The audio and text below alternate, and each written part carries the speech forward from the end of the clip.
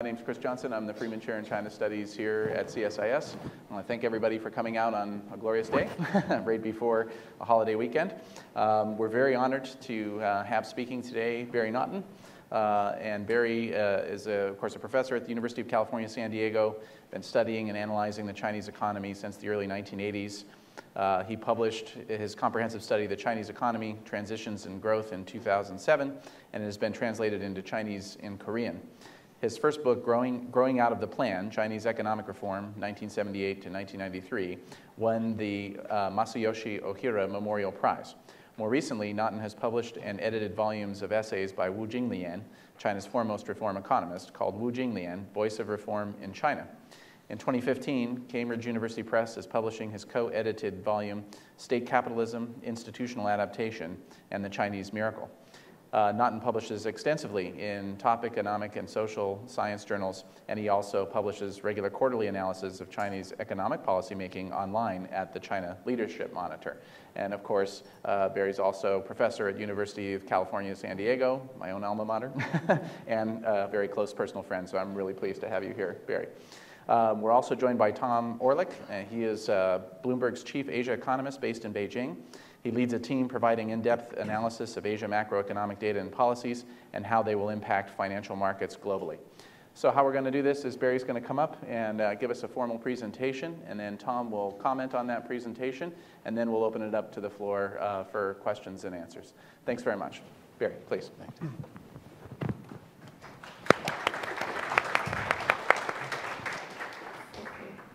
No. So I guess I'm mic'd, right? Can everybody hear me okay? With the Okay, great. Uh, so it's, it's an enormous pleasure to be here. It's actually my first visit to CSIS, so it, it means a lot to me personally. They've also, uh, I have to put in a very, thank you, very brief advertisement. CSIS has given us the first uh, opportunity to showcase the new name we have for the, what used to be the Graduate School of International Relations and Pacific Studies. It is now the School of Global Policy and Strategy. We just want you to know that we are still Pacific focused and we have a great China group and uh, invite everybody to come out and visit us. The sky is, in fact, just as blue as it looks in that picture, and, uh, and, I, and I, hope you'll join with us. I want to say uh, a couple of things about a giant topic today, which is, of course, China's economic reforms under Xi Jinping. And I want to start out, the first thing to say here is, is I think something blindingly obvious, but still needs to be said and that is that the economic reform program that Xi Jinping is carrying out is real. There's actually something here, something big, something important for us to talk about. I sometimes feel a little frustration because I feel that our view of China, China is so big and so, so complex. Of course, we naturally want handles, simplifying handles to understand things. But at the same time, our, our conception often lags behind a little. In my personal view, under the Hu Jintao Wen Jiabao administration, economic reforms really ground to a halt, kind of stagnated. And it took us years to incorporate that recognition into our understanding of China. Today, we see dramatic, multifaceted economic reform initiatives underway. And again, there's a little bit of a lag, I think, as it takes us time to grasp how wide ranging and how important some of these changes have the potential to be. But at the same time, I don't want to come across as somebody who's just thoroughly optimistic about China's economic reforms, as if this somehow, once the decision had been made to adopt some kind of economic reform program, that that inevitably meant China would move in a direction that we can foresee, and even necessarily a direction that we would consider positive and desirable. On the contrary, I think it's a much more complex situation, and to me, I try to encapsulate some of the, the uh, the complexity by again stressing something that on the one hand is again blindingly obvious, and that is this is an authoritarian, top-down reform program. Everybody sees the authoritarian nature of Xi Jinping's rule in many, many different dimensions. I don't have to talk about it here. But in terms of economic reform, that means that some of the aspects of economic reform are different the way it unfolds is different from some of the reform programs that we've seen in China in the past. And just to, to emphasize one point right at the outset, that means that the role of grassroots incentives in carrying out the reform program is very different today than it was in the 1980s or 1990s. That is to say, in previous waves of reform in China, a great deal of the action has come through uh, decentralization, opening up initiative on the bottom, letting policies percolate up from the bottom. And that aspect of policy making and policy implementation is much less prominent under Xi Jinping than it was under some of the earlier leaders. And that means the dynamics are different, the problems are different, the sequence of events is different. It also means that the natural objective we have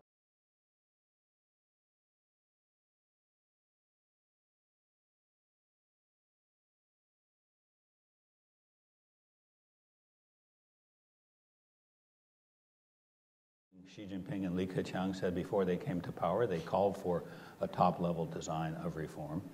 But in fact, what we see is a situation where the leader retains this discretionary power to the very last minute. And that's inconsistent with a blueprint that really lays out exactly what's going to be done and what's going to happen. Um, instead, we see a mechanism for implementing reform, and then a very complex process uh, by which implementation percolates through the system depending upon what the issue is, depending upon who has ownership of that issue, depending upon what kind of resources they have to enforce compliance. One of the most obvious examples of this, uh, the way this type of dynamic is playing out in a clear issue area is coming with state enterprise reform right now. Because one of the remarkable things that's happening is, on the one hand, the Xi leadership team is talking about a uh, you know, a very complex, potentially meaningful restructuring of the state sector. Hasn't progressed very far.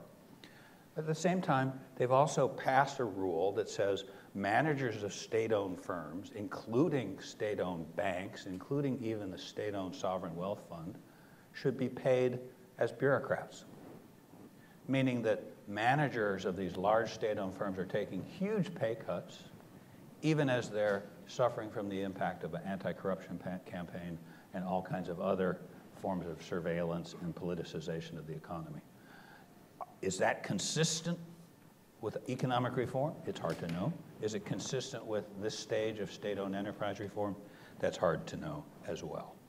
So when we look at how reforms are taking place, I think it's very important for us to avoid the mistake that says, oh, once you have an authoritative boss who's committed to this, then it becomes easy. That's not true, right? Authoritarian systems don't work that smoothly. If they did, we'd live in a very different world. But the simple fact that you have an authoritative boss with a commitment to reform doesn't necessarily mean that reforms will succeed or that they'll go smoothly. So instead of a top level design for reform, what we have is a mechanism I think most of you are familiar with this. This is the leadership small group for deepening comprehensive economic reform. But in a way on this graph, so this shows sort of the structure of it. Of course, you know who the chair of it is. Obviously, it is Xi Jinping himself is the chair.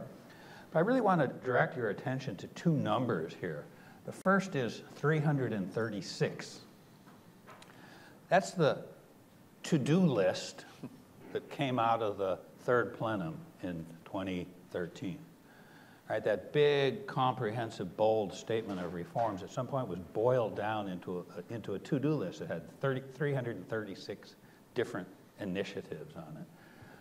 And those initiatives are disaggregated to subgroups, right, of which the most important is this economic system and ecological civilization. What a term, wow. Right, subgroup that has 118 initiatives to take care of.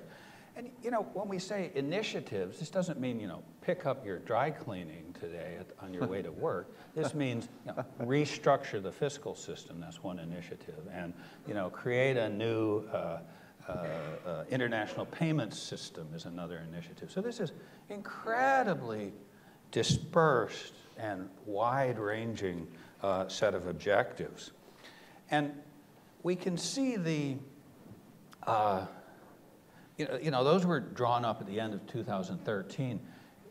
Last week, the, the Old Planning Commission, the National Development and Reform Commission, published their key points of work for this year.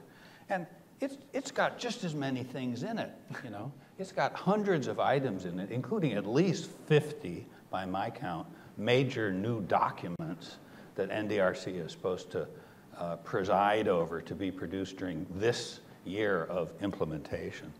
So in other words, we've got a pipeline that's full of half-done, and in some cases, half-baked items that are working their way through the system, right? And, you know, some items we see a strong push, giving the support of the top leaders to an individual uh, reform measure. But there are also scores of measures out there that are sort of languishing with partial support or with the leadership more naturally kind of holding back and waiting to see if they can assemble some kind of consensus. If it comes together and there's enough buy in, then boom, they'll push it forward. That makes it very difficult for us to track the different cases and understand what's happening overall with the reform process. So I want to take an example or two. And the examples I'm taking, obviously I'm choosing them because I think they're important. But as you'll see, they're also, they retain the same complex mixture of ambition, achievement, and failure that I think we see in the reform program overall. So let me start with my first example, which is the restructuring of local government debt. Now, first of all, notice something right away that's kind of peculiar. I just laid out this story about this big institutional mechanism to carry out reform, the leadership small group. And then I go to this important reform example. And does this important reform example actually come out of the leadership small group system? Well, yes, in a way, but really when you dig into it, it's more of a case of a single dedicated civil servant, the Minister of Finance, Lou Jiwei, somebody who's been committed to reform for decades and is now finally in a position of power. So essentially, he's got this program, and Xi Jinping and Li Keqiang nod their heads and say, yeah, do it. Right? So that's what, what drives this forward. So Lou Jiwei advances this extremely ambitious program during 2014.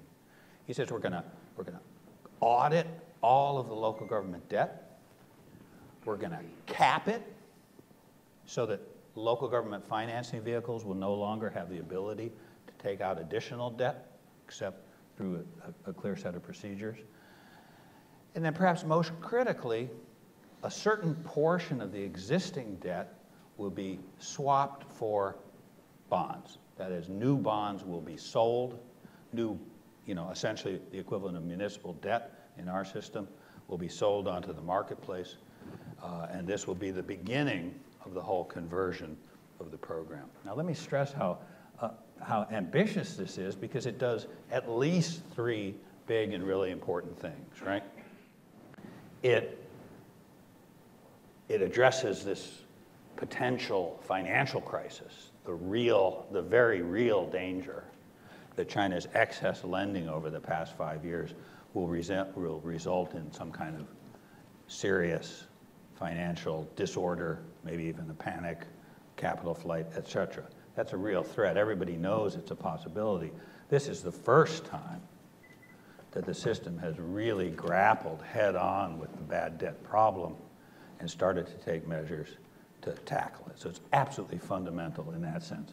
Second, of course, it's also part of a program to improve the finances of local government by reducing their interest payments some estimates are that local governments today pay maybe as much as 8% on their very large debt because they have to, they're in a situation where they're forced to roll over bank loans. They sometimes have to have recourse to these off the books shadow banking facilities to get access to credit.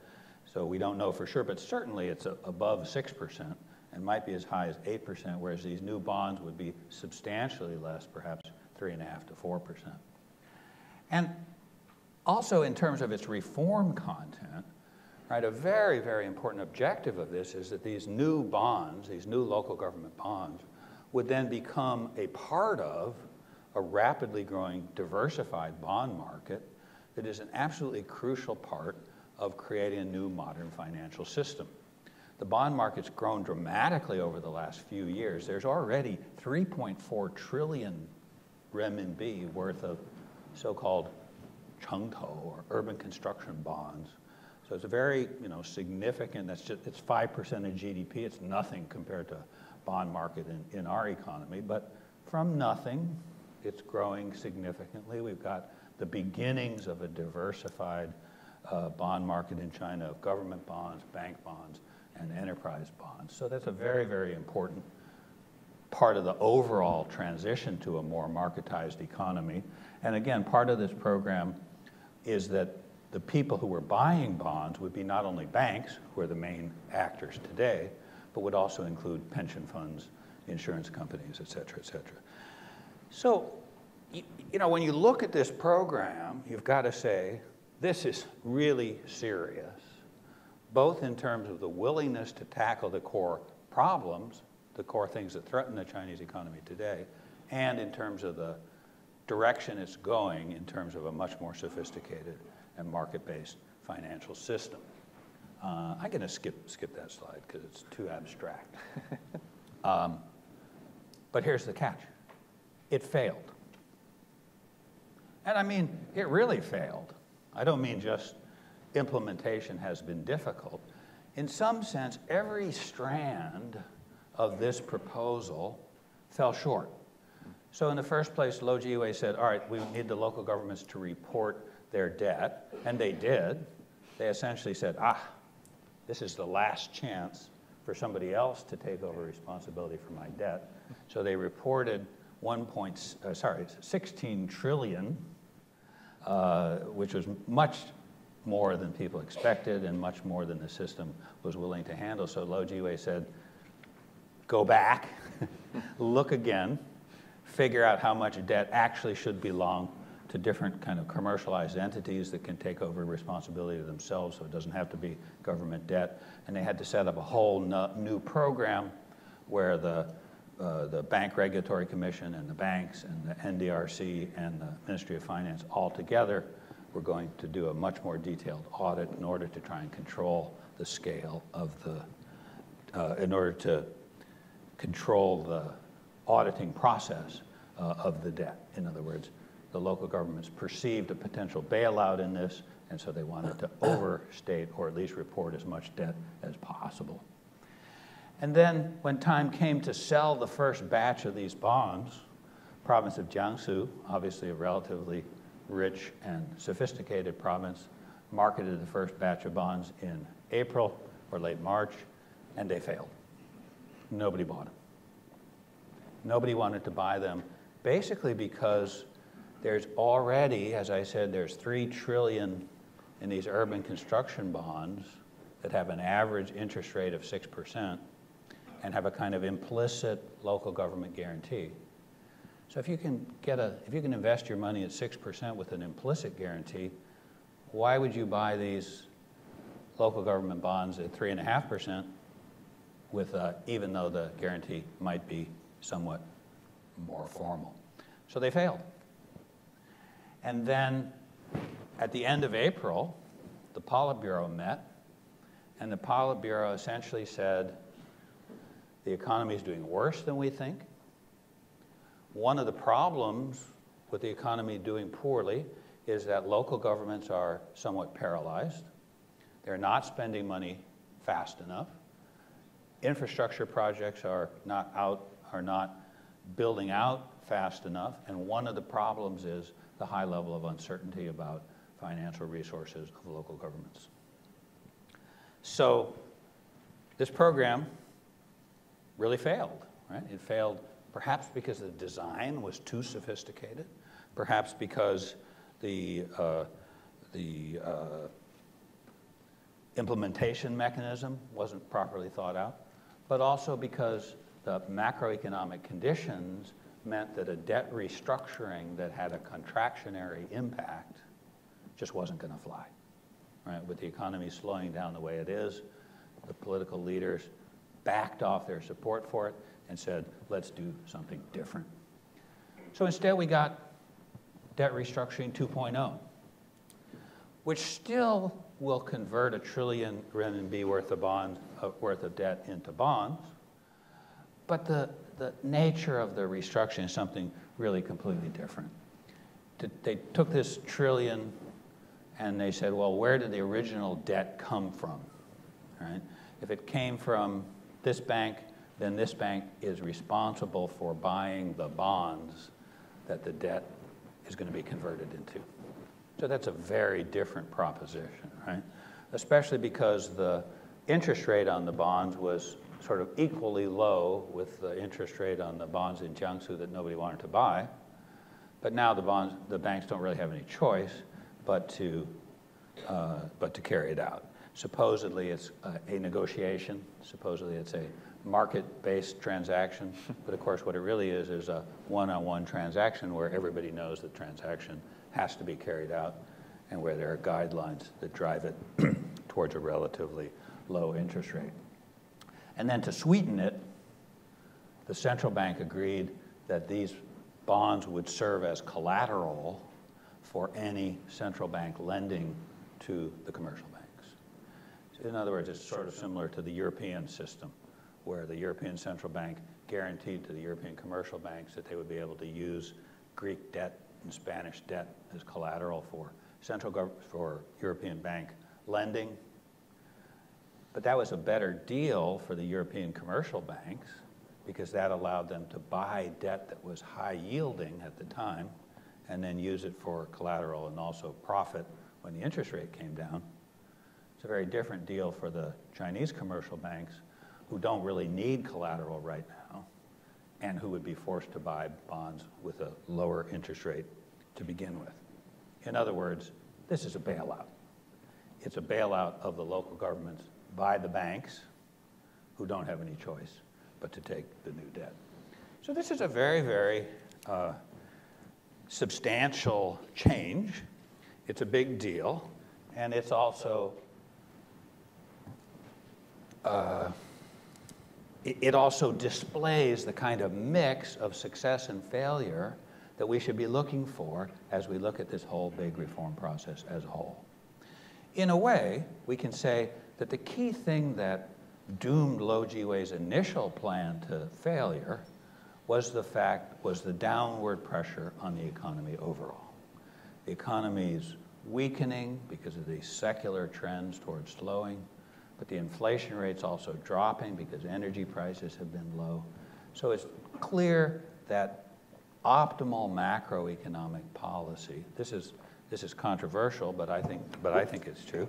Optimal macroeconomic policy should become more expansionary. Lou Jiwei's bond swap was moderately contractionary, so that killed it. But in other areas, thanks, in other areas, the need to, uh, the, the opportunity, maybe we should say, to move towards a more expansionary macro policy could also be harnessed in favor of reform. And so while we see this failure on the part of fiscal reforms, when we turn over to financial reforms, we find that this same need to adopt a slightly more, somewhat more expansionary policy creates some opportunities. Because as the central bank pushes to drive down funding costs, it gives them a new kind of leeway. So here's a graph. This is the justification for having a PowerPoint, really, was to be able to show this graph. Um, and what it shows on the top is the PBC set benchmark one-year lending rate. And at the bottom black line is the benchmark one-year deposit rate. So if we look over at the left-hand side, what we see is sort of the old system, right? A big gap, 300 basis points, that's three interest, 3% interest, three interest, three percentage points of interest. This sort of enforced gap that provides profit to the banks, which can uh, take deposits at the low rate and lend at the high rate. Over the years, the PBC has liberalized the lending rate so banks can lend at higher and different rates. But the deposit rate has not been liberalized until very recently. So look at what's happened in the last year. As the benchmark rate has gone down, the ceiling of what commercial banks can give to depositors has barely changed because every time they lower the benchmark rate, they've increased the band mm. so that now commercial banks can give 150% of the benchmark rate to depositors. Why does that matter? It matters for two reasons. One, the spread with the benchmark uh, lending rate has decreased very substantially from 300 to 170 basis points. So there's less of a enforced profitability for banks, which is an enforced kind of taking from depositors. But even more important, as interest rates have fallen, the actual interest rates that the banks give to the depositors, which is shown there way over on the right in that red circle and black diamond, has now fallen below the ceiling for deposit interest rates. Hmm. In other words, deposit interest rates are now deregulated in China. That's a big step forward. That's something the central bank has been trying to do for a decade, and now we finally start to see it as the macro policy shifts towards something more, uh, more liberal. I'm gonna, I won't go through this slide either. You can look at it for your reference later. The point is just these measures of liberalization of financial markets are being accompanied by a broad span of different liberalization measures in financial markets. Just for one major, for instance, the linkages now being established between the Shanghai stock market, the Hong Kong stock market, and now the Shenzhen stock market as well mean that equity markets and these growing bond markets are starting to be linked up in terms of the way demand for funds influences asset pricing in these different markets. They've still got a long way to go, but these are major changes in the direction of creating a modern integrated financial system that is now significantly open to world financial markets as well. So, where does that leave us? As you can see, I'm not saying, oh, everything's great, reforms are perfect and underway, but I think we do have to acknowledge there's such a dramatic spectrum of new reforms. I think it makes sense to think of them as already falling into sort of four categories, right? There are some things where reforms are just working, right? The deposit rate liberalization, true, it needs to be sustained when interest rate conditions change. But essentially, if the will is there, we're already there in terms of uh, deposit rate liberalization has been achieved. There are a lot of other ways where changes are underway. Momentum has been established. We just need to sort of expect these things to continue. Uh, and uh, then we'll, we, we, we, should, we should see changes. Reformulation is going to be a huge part of it. Local debt restructuring round one failed, but it's not going away. That's only one trillion out of 15, 16 trillion. You're going to see the next tranche will be handled in a different way, the next tranche in a different way. And I think my expectation would be that particular area, you'd see a process of reformulation uh, that probably will ultimately succeed. And other things certainly are going to fail. For instance, I think urban, the transformation of rural to urban land is something that so far has failed. SOE reform so far has failed. But it's going to be a mixed and complex picture. So, my last word then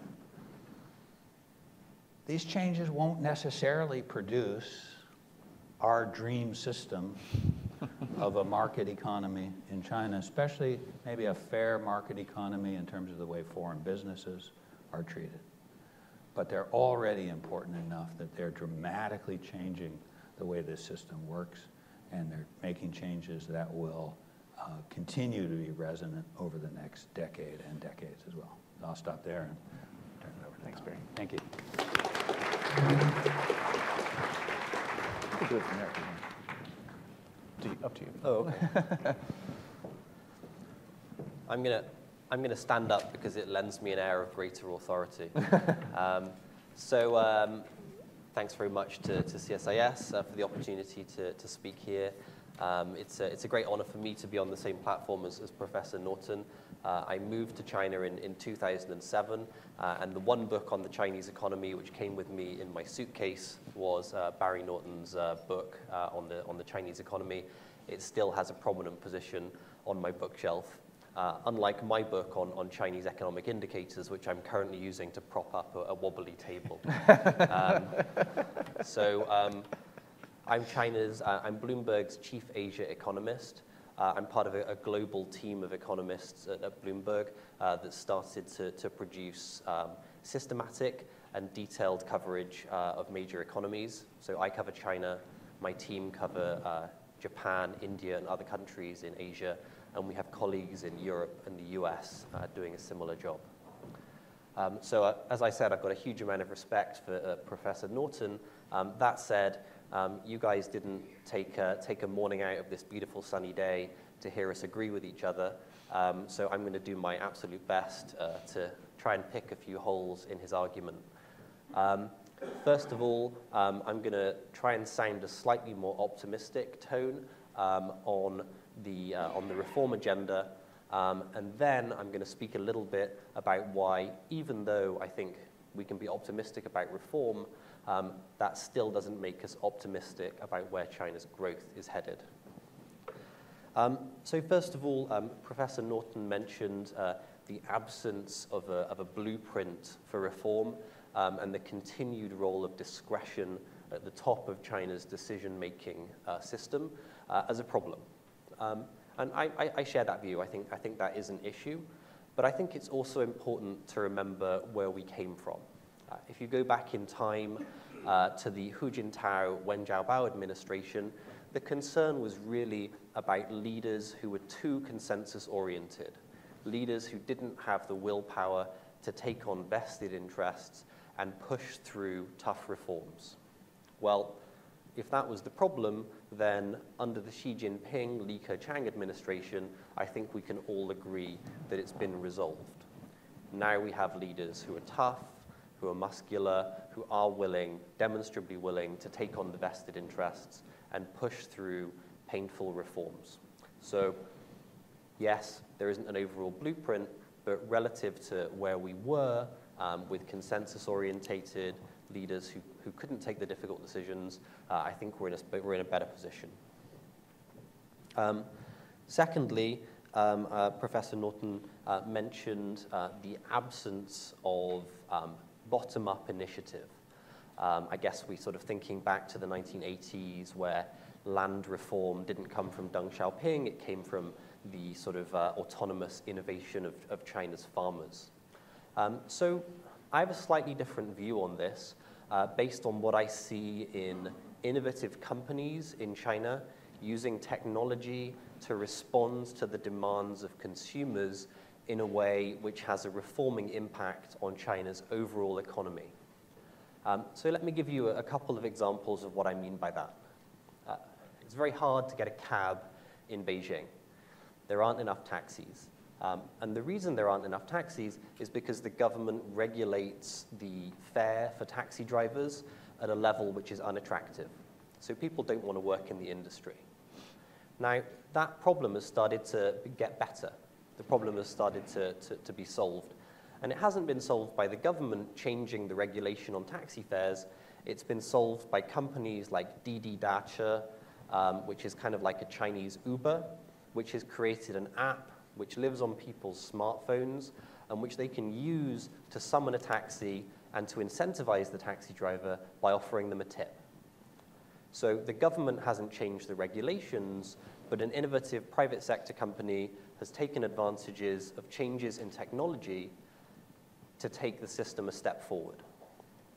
That's one example, but you can also see perhaps more significant examples in areas like telecoms, where Tencent's Weixin application is changing the way people communicate, taking revenue away from the big Chinese state-owned telecom companies making communication easier and cheaper uh, for Chinese citizens, um, or in the banking sector, um, where money market funds uh, like Alibaba, Alibaba's money market fund, are taking funds away from the banks. And even before the, uh, the significant moves on interest rate liberalization, which Professor Naughton, uh, I think, completely rightly identified as a, as a major step forward, even before that happened, these innovative private sector players like Alibaba's money market fund were taking funds out of the banking system allowing customers to manage those funds over the internet, which, as any of you who've been to a Chinese bank knows, um, is a huge improvement, um, and offering them a market set interest rate. So, on the question of whether reform is centralized or decentralized, yes, Beijing continues to call the shots on shifts in the regulation. But I think if you look at what's happening in the real economy, you do see these innovative private sector firms using technology to address consumer uh, needs, and that having a significant impact on everything from taxis in Beijing to the way people communicate to the way people manage their finances. Um, so, um, that said, um, I'm just going to make a couple of remarks on, um, well, I guess we could say I'm, I'm, a little bit optimistic on the reform agenda. Um, but I'm also a little bit pessimistic on the outlook for growth um, for a couple of reasons. Uh, firstly, I, I, think people, people wonder whether China's economy is going is gonna make a, is going to continue growing at a reasonable pace or slow sharply. I, I think that's the wrong question. China's economy has already slowed sharply. If you look at the real growth rate, back in 2007, the economy was growing at 14% a year. Now it's growing at 7% a year. If you look at the nominal growth rate, which is more relevant for understanding corporate profits, in 2007, we were growing at 21%. Now we're growing at 5.8%. So there's just been an extremely pronounced slowdown in China's growth, and that's starting to show up in the places where you'd think it would show up. Iron ore prices, for example, are extremely low compared to, to where they were a year ago. Now, a, a lot of people um, doubt the, the validity of, of, China's official data, um, and, uh, and so, so we also look at a range of alternative measures of China's growth. Uh, I just completed that exercise um, for, the, for the first quarter uh, yesterday. Uh, so we look at things like electricity production, land sales, um, Macau gambling revenue, uh, same store sales for Yum, who have a lot of Kentucky Fried Chicken restaurants in China, um, volume at Shanghai's ports. Um, and all of these measures every single one of the measures I just mentioned is either contracting or growing in the very low single digits. So, based on that, I think there's some cause for concern that not only has China's growth slowed extremely sharply over the last few years, but that it continues to um, slow. It continues to slow um, at, a, at, a, reasonably rapid pace. Um, so, finally, uh, just a couple of thoughts on what growth might look like if the reform agenda succeeds. So, for me, I think even a successful reform agenda is not going to support growth if the fundamental drivers of demand are not there. By fundamental drivers of demand, I'm talking about exports, investment, and consumption. And across each of those areas, I think there's reason for pessimism. Uh, so China is already the world's number one exporter. They've also seen very strong appreciation of the yuan and strong increases in labor costs over the last few years. Now, what that means is that China has limited room to grow its share of global trade and problems with competitiveness which impede its capacity to take market share. So even a successful reform agenda isn't going to do much to grow exports. How, how about investment? Well, investment has been the, the workhorse of China's growth um, for the last decade, um, and um, that's been very successful as a way of, of, keeping, keeping growth strong through the financial crisis, um, but it's also brought problems. Industrial overcapacity, overstretched banks. So what we're seeing now in the last few months is that even as the PBOC has started reasonably aggressively cutting interest rates, we're not seeing bank lending accelerating, and we're not seeing business investment accelerating. So I think uh, a, a, the reform agenda, and I think interest rate liberalization has really been one of the successes, is going to mean more efficient allocation of investment. But against that, we have to set the headwinds of industrial overcapacity and overstretched banks. And I think that means that we can't be too optimistic about the capacity of investment to drive growth either. Finally, consumption. Um, consumption is where everyone wants to see the Chinese economy moving. Rebalancing is the, the, the order of the day in Beijing. Um, and I think of the, of the drivers of growth, the, the area where we can be most optimistic um, is, is the consumption story. But I think it's also important to remember that households work in the industrial sector and they own real estate.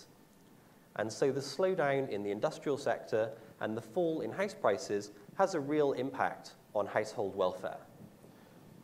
Wage growth is slowing. Households have the majority of their assets, the majority of household wealth is in real estate.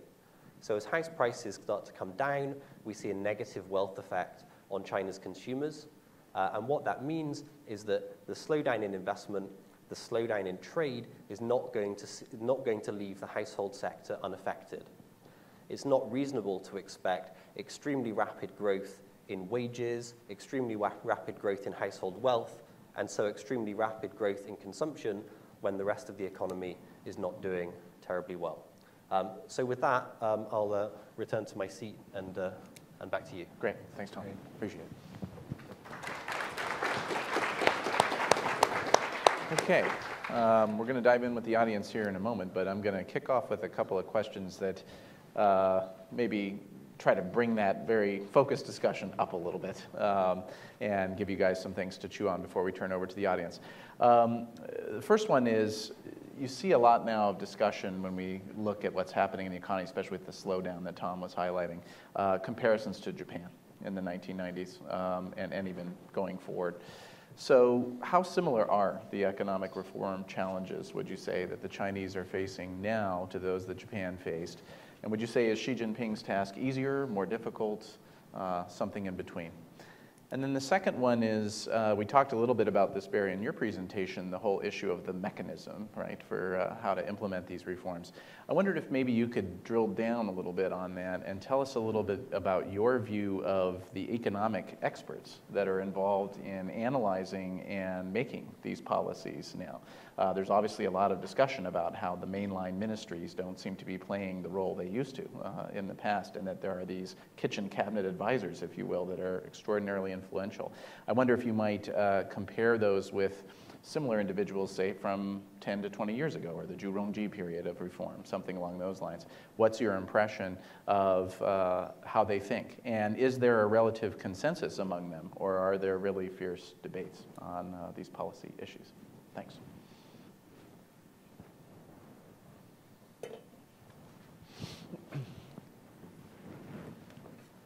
Guess I'll stand up. I know, I know I'm not qualified to have this glass of water, but uh, let me take a quick sip out of it. All right. Just thought I'd put it at a safe distance. no, thanks for those great comments. I, th- I think I, I, pretty much agree with most of the things that, that Tom said. Uh, in particular, I mean, the downward pressure on the economy is, is really serious. Um, and I guess that's a good way to sort of bring in Japan, too. I think the, you know, when we, when we compare China and Japan, uh, China is exiting its miracle growth period. I think there's no question about that. And, and so the similarities with Japan, actually not so much in the 1990s, but in 1973 mm. and Korea in 1987 are, are, are, quite, are quite substantial. I think um, there's sort of two reasons why China might be in a little better uh, shape, and two reasons why it might actually be in worse shape.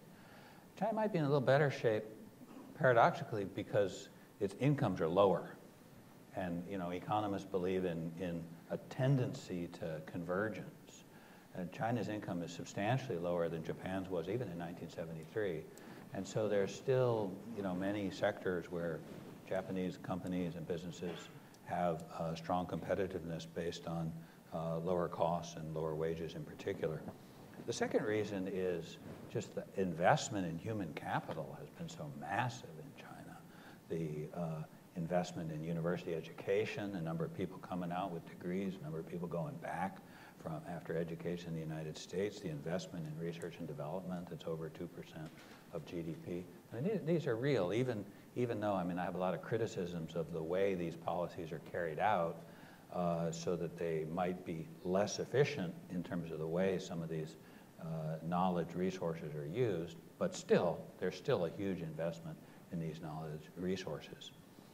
On the other hand, China's labor force changes are even more rapid, more dramatic, more concentrated than the changes in Japan and Korea.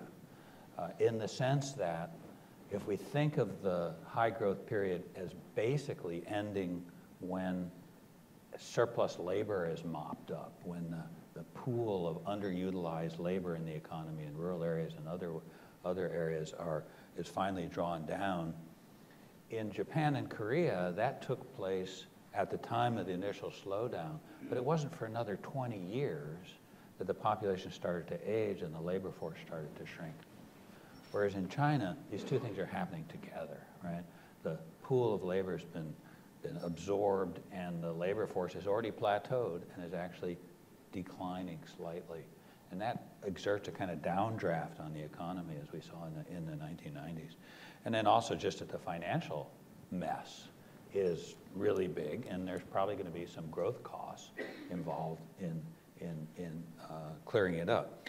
You know, my take of Japan in the 1990s is the biggest problem that Japan had is that they tried to defer addressing those financial issues for so long, and they just carried this bad debt load for almost a decade before they began to, to deal with it significantly. I think that China is going to do a lot better than that. I think that they're going to tackle the bad debt problem more aggressively uh, and that they'll do so more thoroughly. So I don't, I'm not worried about a decade of stagnation in the Japanese sense of the 1990s. But I am worried about uh, short-run disruptions to growth caused by the difficulty of re-gearing economic policy and re-gearing development strategy once that miracle growth phase ends. So I very much agree with Tom. I mean, I think our sort of short run warranted growth rate, I think is below 7%, quite. And I'd love to, so I guess I would give Chinese policymakers credit for uh, recognizing that there is a new normal, that, that, you know, we don't, we're not trying to sustain growth at the super high levels that it was at before.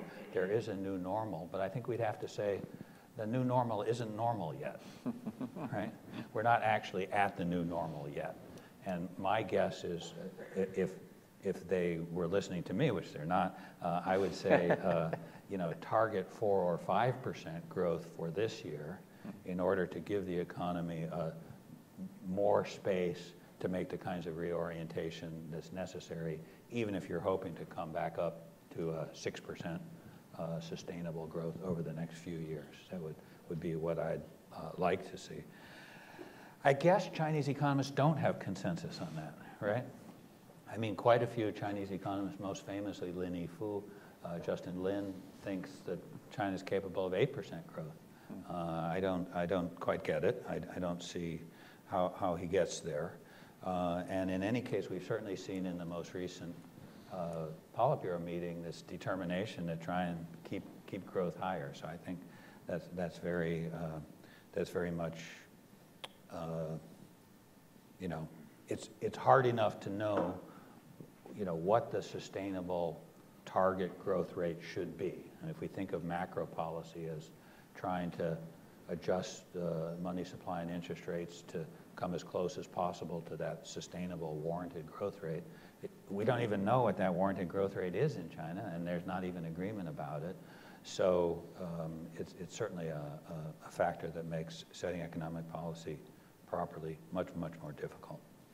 Um, you know, in terms of the, the people who are advising Xi Jinping, I mean, it's funny because, of course, the, probably the two most important operational, you know, hands-on policymakers are central bank head Zhou Xiaochuan and Minister of Finance Lou Jiwei. Well, if you say how different are they from the advisors of the 90s and the 80s, They are and we the say they are the advisors of the 90s, 80s. They're, they're, they're the same people, um, and they. Um, I think it's fair to say that their advice was mostly neglected during the during the Wen Jiabao era, and now they are listened to, uh, and they're in positions of great great power and responsibility. Um, of course, they don't always agree, uh, and we know, you know, just in precisely in terms of this uh, this local debt restructuring, uh, there were some real frictions between the two, uh, and I think uh, one hears, and you know, never know. There's such a gossip mill in Beijing, but one hears that uh, that uh, Zhou Xiaochuan was quite frustrated at the the outcome that sort of forced the commercial banks, which are after all part of his portfolio, to take on responsibility for the local debt, which is Lou Jiwei's portfolio. Um, but, but I think those, those things are uh, a pretty natural uh, part, of the, part of the business. Uh, you know, in, uh, in terms of the advisors directly to Xi Jinping, of course, you know, everybody I think is aware, especially in Washington, where people are very attuned to uh, advisors. People paid a lot of attention to Liu He, who is, of course, um, in that picture that I showed of the leadership small group and the subsidiary group that is responsible for the most of those initiatives. The economist Liu He is the co-chairman of that specialized group. So he's in a very critical position in terms of managing the flow of decision making uh, and being the one who has to decide has, has our policy making on this particular issue you know, reached a mature enough level. They love that, that term. they, the, the policy has to mature and then be approved by the top leaders. So he's really sort of the person right there in the cat seat in terms of determining whether a policy has reached the point where the leadership can, can approve it and, and push it forward. And I, I, can't, I can't really detect any major differences in the way he views the world and say Zhou Xiaochuan and Lou Jiwei view the world. And they have somewhat different uh, institutional constituencies, but, but I think they're, they're people whose thinking is easy for other economists to understand. I mean, they're very influenced by economic reasoning. They see things uh, as economic problems. So, um, so I guess the, the one question is, Xi Jinping, who is obviously a politician just down to his toes, somebody who has a strong populist sense, uh, not a democratic bone in his body, and not really an economist mindset, but he has so far relied on these economic advisors very strongly. I hope he continues to, but we don't have any necessary reason to, to, to expect uh, that he will, but so far he has. So. Good. Yeah. Did you want anything? So um, just, I think on the, on the Japan question, um, I think if you look at the, the metrics which uh, Professor Naughton alluded to, um, GDP per capita, um, urbanization levels, uh, China looks a lot more like Japan in the immediate post-World War II era um, than it does Japan in 1989 or even Japan in, in 1980. Um, so I think based on uh, the idea of convergence and catching up, um, I think there's some reason for optimism that China is not on the brink of a, of a lost decade. Um, the reason why I, think there's, there's also a reason for a bit more pessimism, though, um, and that's, that's for a couple of reasons. Um, so I, re I, recently read um, uh, the, the, classic study of uh, Japan's economic miracle, um, MITI and the Japanese economic miracle by, by Chalmers Johnson. Um, and the thing which struck me about it was just that uh, MITI, which is kind of like the, the Japanese NDRC, was just a much more efficient development institution um, than anything which existed in China. Um, so China's industrialization has come with rampant overcapacity, with rampant overborrowing. And that's because even though the NDRC looks pretty powerful relative to whatever we have in, in the United States or Europe, relative to MITI's capacity to control industrial capacity expansion or industrial borrowing, NDRC is really very puny. Um, so my concern is that China has achieved a moderate level of prosperity in a way which is so much less efficient than what Japan did that that space for growth, um, which it appears to have, uh, will actually turn out to be illusory. Thanks. Okay, we're going to turn it over to the audience now. Uh, per standard uh, CSIS procedure, if you could uh, announce yourself and uh, what your affiliation is, and do please keep your question in the form of a question rather than a soliloquy. Uh, we're going to go right up here at the front, and please wait for the microphone.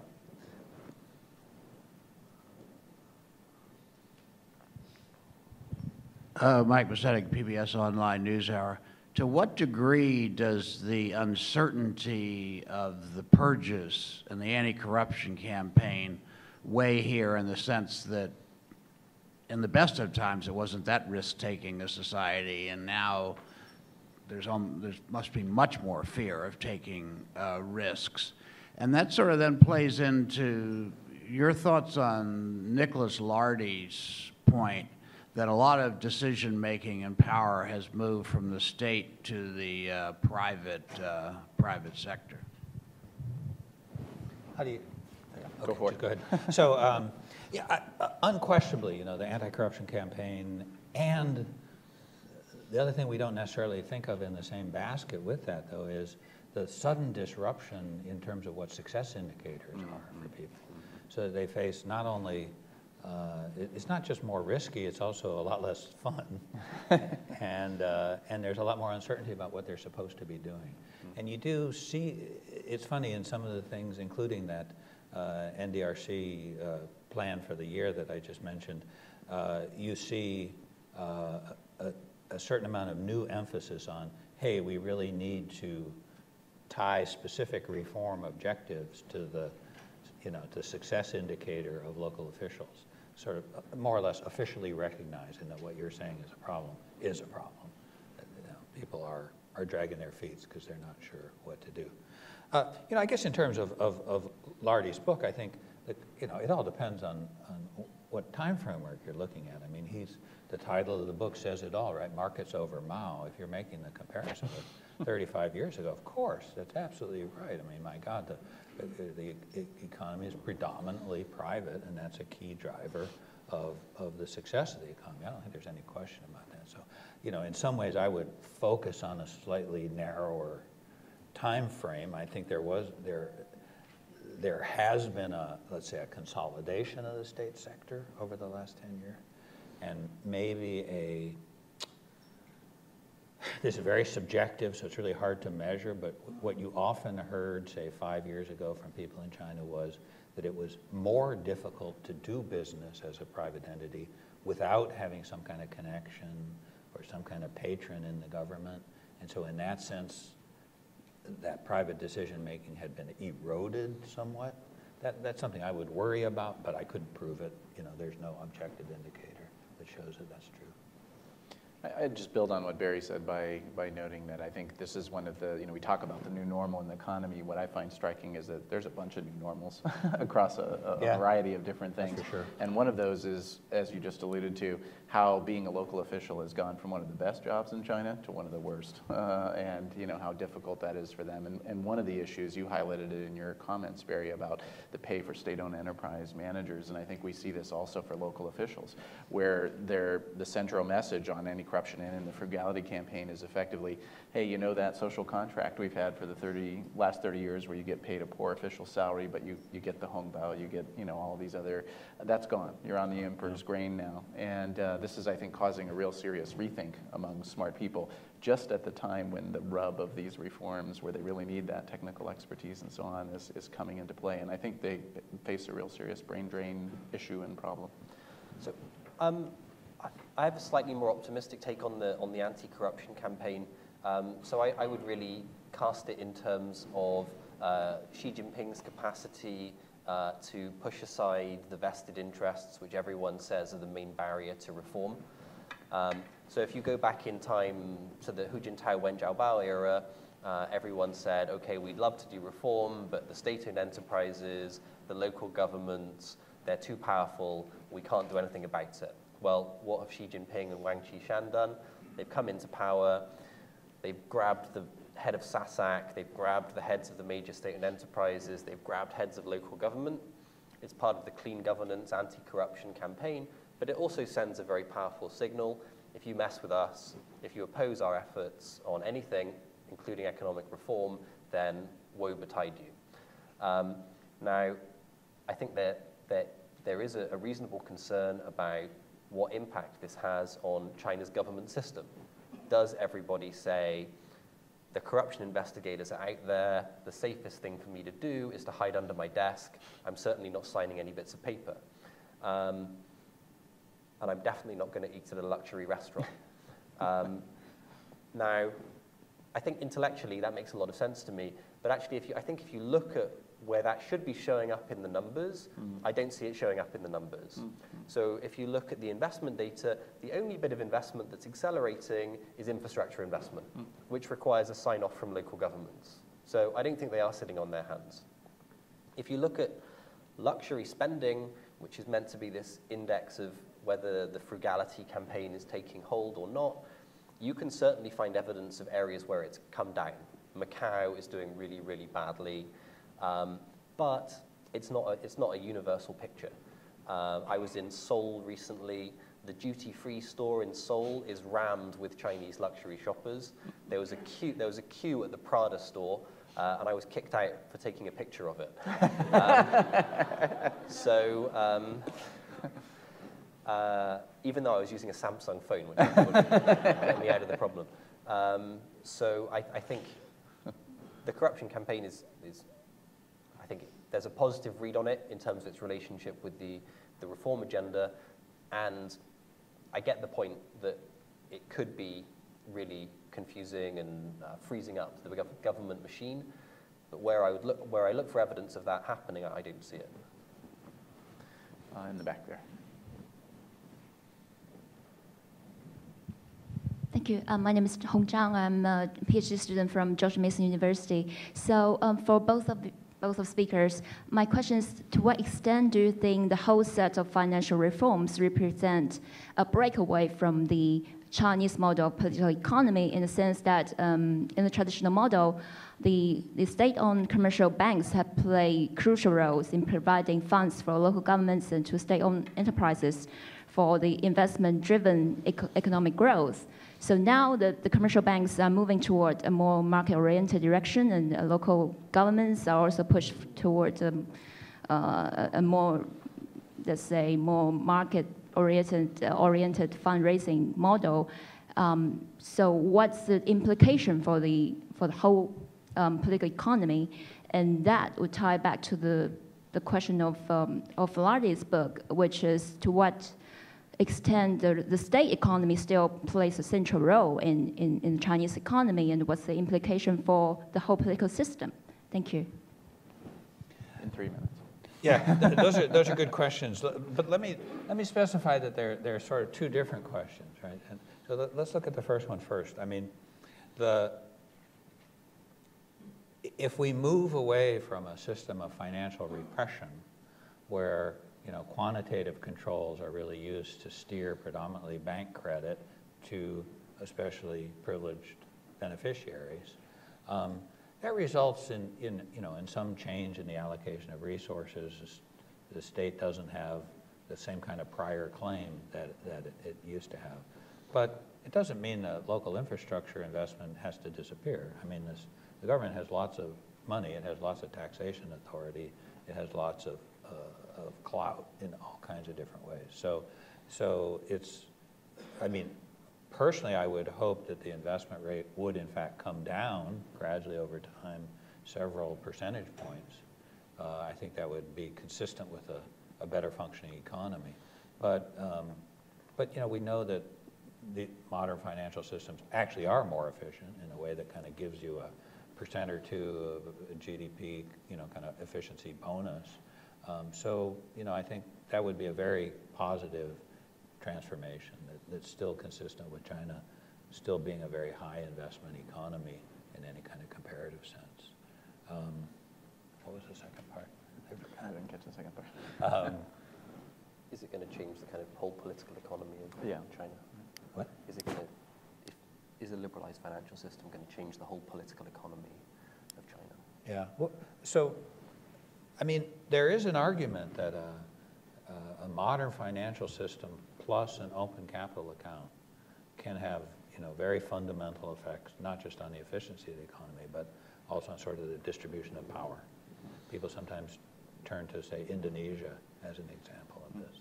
It definitely provides a check on government decision-making that, that I think can be quite positive in the Chinese case. So apparently, Lenin said uh, all communist governments need one very large bank, um, which, is, which is a great quote, and I, I've always wanted to use it, but I've never been able to find the original attribution, so I'm not sure whether he actually said it or not. Um, and, and I think that, that goes to the kind of the evident truth that if you control the flow of credit, that gives you massive influence over a whole range of different things. Um, now, by liberalizing the financial system, um, I think when we talk about the liberalization of the financial system, I think we have to recognize that we're talking about the liberalization of financial instruments. We're not talking about a shift in the ownership of China's big banks. So ICBC is now going to be operating in a market-based interest rate system. However, ICBC is still majority owned by the Chinese government. So I think it will continue, it will hopefully operate in a more efficient way, um, but the Communist Party will still have one very large bank. So, Although, I mean, I guess to me, the, the, the main difference is in, in the first system, it's so easy to hide different kinds of costs so that nobody can really perceive them. ICBs, if, if the re- financial system reforms succeed, yes, ICBC starts out state-run, no question about it, but two things are different. One is it has to compete on more or less equal terms, and some of the competitors will do better, and some of them are private. But the other is that ICBC's bottom line is going to be increasingly driven by things that ICBC can't control. And so when the government says, hey, by the way, we'd like you to fund this, then ICBC is going to push back and hmm. say, well, we can't fund that because, you know, it's going to hurt our bottom line, it's going to hurt our shareholders, including you. Right there on the edge.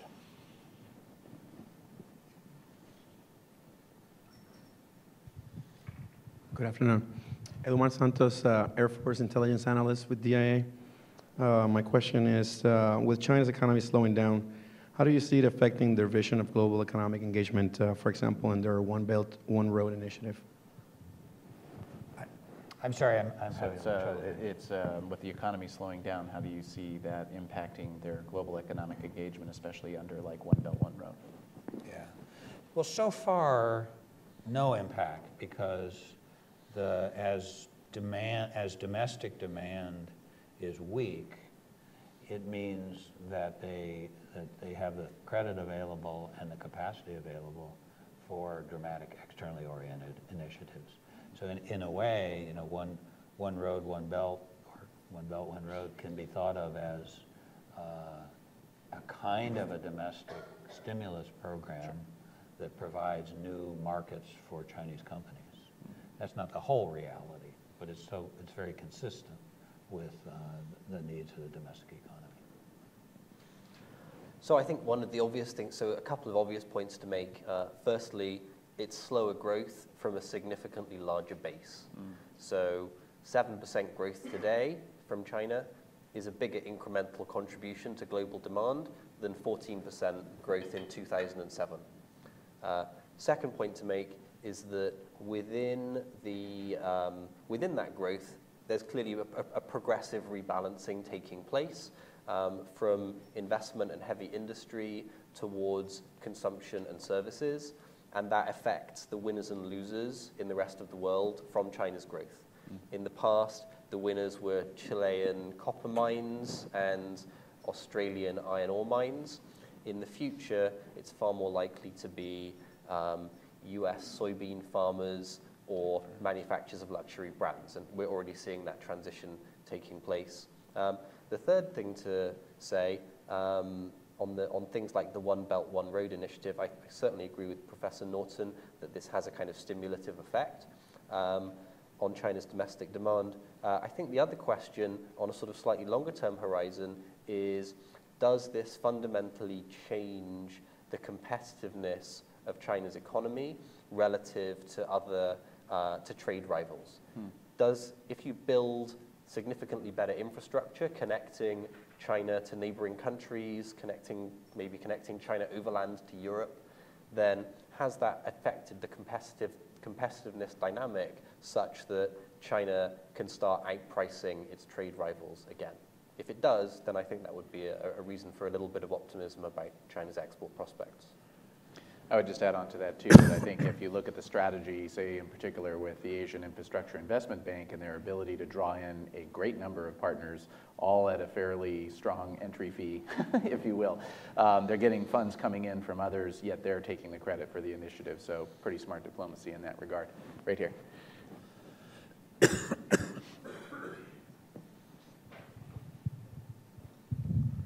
Pei Xu from Voice of America. And uh, talking about uh, uh, Chinese reform, uh, the issue of uh, China's SO, uh, SOE, state-owned enterprises, cannot be avoided. talking about the reform, people say that to expect China's SOE to reform is something like to, to, to, to expect dogs spitting out the meat dumplings in their mouth, as uh, Chinese, some Chinese would say. Yeah, I, I, want to ask you, how do you look at the issue? And here we have example, such as Alibaba mm, put forward a very good um, product of uh, money market um, product, and quickly, quickly was killed by state-owned banks. So how do you look at the issue? Thanks. Do you want me to have a go? Okay. Um, so, um, firstly, dogs spitting meat dumplings out of their mouth. Colourful analogy. I love it. I'm going to be trying to, my best to work that into all future speaking engagements. Um, so uh, I think that the second thing to say is that um, I think that in some ways the, the full frontal attack on the privileges of state-owned enterprises has been slow to, has been slow to materialize. Uh, the overall plan for reform of the state sector um, is still, I think it's imminent, but it's still on the drawing board. So you could say that was a lagging part of the, the reform agenda. Um, but um, I think there's, uh, I think there's a, a, certain amount of credibility in the view that um, other aspects of the reform agenda are a kind of death by a thousand cuts uh, of China's state-owned enterprises. So things like interest rate liberalization, um, the, the appearance of defaults in the financial sector, including the default on a bond um, from a, from a state-owned firm, uh, reform of energy prices, uh, all of these things are removing the implicit subsidies which support China's state-owned enterprises. Um, so even in the absence of a, of a frontal attack on on the state sector, these other reforms are starting to change the dynamic. Um, on the money market funds question that you mentioned, uh, I think the remarkable thing there was really that the state banks did push back against uh, the, the birth, the appearance of money market funds, and they lost. Mm. Um, and money market funds continue to grow and, and be dynamic and, and suck funds out of the banking sector. Yeah, no. Okay. Um, yeah, Hank. Thank you. Uh, Hank Levine uh, with the uh, Albright Stonebridge Group. Uh, first, a, a, brief comment footnote, just thinking that relative to the previous question, and that is the U.S. China Bilateral Investment Treaty, if ever completed, would, it seems to me, make a significant contribution to SOE reform or at least increased competition for SOEs because it would require opening up so many sectors that the SOEs are in. So, just a random thought. But related to that, I think I saw in, in one of Barry's early slides a reference to the to nationalism as an input into reform, and I think in the interest of time, you really didn't discuss it. And I wonder if you could expand on that a little bit, and particularly as it relates to your later comment that the ultimate form of the Chinese economy may not be one that we particularly are uh, want to see, and, and particularly uh, the U.S. business community or the foreign business community may not be, you know, especially thrilled, given that the U.S. business community is very focused on the opening side of reform and opening. So I'd be interested in the nationalism question and then how that relates to the progress of kind of the opening side of reform and opening. Great, great question. A great question. Um, you know, I wish I had a, a sort of firmer uh, prediction, a clear statement uh, to make about that, and I, and I don't. Uh, because you know, I think what we're seeing is the interplay between two, two different instincts, which are both contradictory and occasionally uh, coinciding. Uh, so, you know, it's most obvious, I think, in the sense that this enormous sense that China needs to move into a more innovative economy. And so, you know, on one level, that leads them to support small firms, startups, a much more lively milieu for you know, private business and especially entrepreneurial business. And I think there are many signs that, that that's happening. But at the same time, there's this intense paranoia about information technology. This, you know, still, in spite of all the things they've said, the reality of sort of industrial policy on the ground is still highly interventionist, highly distortionary, and highly anti-foreign. Uh, and so, you know, how do these how do these two things work out? I don't know. And then at the same time, you know, Xi Jinping's drive for China's greatness clearly leads him to support opening the capital account, mm. having the renminbi play a bigger role internationally, starting with being a member of the special drawing rights basket this fall. Um, but that's leading to, you know, in that sense, it's very positive to economic reforms because I think it gives them a willingness to take risks with financial opening that otherwise they might they might recoil from. So I just I, I wish I had a you know sort of straightforward simple takeaway and I don't, but I do think that the inter interrelationship and interpenetration of of kind of nationalism and the need to have a strong modern economy which implies a degree of liberalization and openness, these two things are going to be interacting for years. I think you, I think you can't, we can't expect to have a better answer than, than what you, what you just laid out, because it is messy. It is messy, right? I guess I would say, picking up on Hank's comment, though, one thing that's interesting is that BIT may, in fact, be the best opportunity for the U.S. side to uh, affect the, the arc of the trajectory of the program they're on. Because I think we could, would all agree that there are certainly people in the system who see the end point being one that we would very much not like, right? And something like a BIT might be our best opportunity to, you know, without, with, while acknowledging that we can't, you know, get in their game, if you will, um, it does perhaps allow us to tilt where they're headed a little bit. Good. Any other questions? Someone down here, Chris. Oh, I'm sorry. Sometimes it's hard to see the people in the front. uh, thank you. Thank you for the, the, the, great talk. And I want to return to the a question that uh, Dr. Can Naughton. you identify yourself, please? Sorry. Oh, oh I'm sorry. Uh, I'm David Cowig. I'm uh, serving, uh, I'm a Foreign Service Officer at the U.S. State Department. Uh, my, my question uh, is, is thinking about the effectiveness of Chinese government. Uh, because when I talked with Chinese officials over the years and asked them to explain the system to me, they would often talk about China having the dual leadership system, uh, Dao uh, and uh, which, which means, of course, that uh, the uh, different government departments working at their level, they're subject to their local government in financing personnel, but they're also responsible in the dual leadership to the next functional, uh, uh, functional level of government above. Uh, but, but then the officials would always uh, caution me. We also have a saying in China we have measures from above and countermeasures from below. Shang you zhengce, sha. And I've also seen uh, Chinese uh, academics criticize this uh, dual leadership system as being a critical weakness for China, meaning that while China is supposedly very centralized, uh, actually, because of course the part of the leadership at the local level names the personnel and controls the budget, you're going to pay an awful lot more attention to your local leader than to the uh, departmental level above. So I always get the impression in, in my years in China that China is a much more decentralized place than we expect, and that the government is actually much weaker. In fact, the, one of the big problems with China is the government is weak, not that even though the China human rights people, uh, of course, have a different perspective, uh, the ability of the central government to impose its policy is actually quite difficult. When I looked at Dr. Naughton's slide talking about the local government financial uh, uh, financial vehicles that was uh, the, for uh, help helping with finance for local governments, think, oh, this is another countermeasure from below, uh, the, which the which the local government set up to try to raise some money for themselves.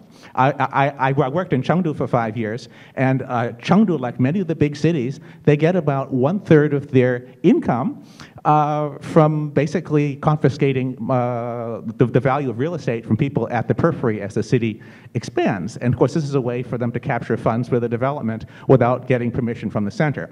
Now, I hope for the good of China that things can do better. But uh, the question, I'm sorry, it, it's almost thinking about the political side. Now, this sort of consideration, should I really be uh, keeping this in mind as I think about economic reform, or is economic reform a little bit of a, a different track? So that, that's what I'm, well, my question, okay? So it, it's a great question that is super hard to answer because it, it does it is so huge, right? I mean, it, and and um, it is, but you're absolutely right. I mean, talking about local government debt, in some level, trying to sweep under the carpet the fact that there are all these important issues about what are the funding sources that local governments have, is it adequate? Uh, they, of course, have relied tremendously on, on land conversion from rural to urban and development as a key, as a key source uh, of, of revenue. Um, the, but I guess, so, so I agree with you that the interplay between center and local is subtle and complex, and we need to, and we need to think about it all the, all the time. Uh, The other thing I'd add is local governments in China lack the accountability to an electorate that local governments here have. And so just allowing, I mean, there's a reason that the system has never allowed local governments to take on debt. And they did anyway, and it caused a bunch of problems. And now we're trying to allow them, we, meaning they, uh, trying to allow them to take on debt through a, a more transparent uh, and easily monitored process of issuing bonds, but that's still without the accountability that comes from having a local electorate. So there's a whole additional level of, of risk in there because of that. Um, and, um, and and I wish we had another hour we could talk about it. So um, I think absolutely it's a relevant consideration, um, and it also helps explain why progress has been significantly faster in some elements of the reform agenda than in other elements of the reform agenda. So where have we seen very rapid progress? Well, interest rate liberalization and exchange rate liberalization, two instruments that are controlled by the central bank in Beijing, and where you don't really need to have any debate with anyone at a provincial or a local level or rely on them for any aspect of implementation. Just not to overstate the simplicity too much, but you flip a switch in the PBOC headquarters and it's done. Where have we seen slow and painful progress on reform? Land reform, hmm. hukou reform, dealing with overcapacity, all areas where progress and implementation relies on painfully negotiated agreements with local governments. Great.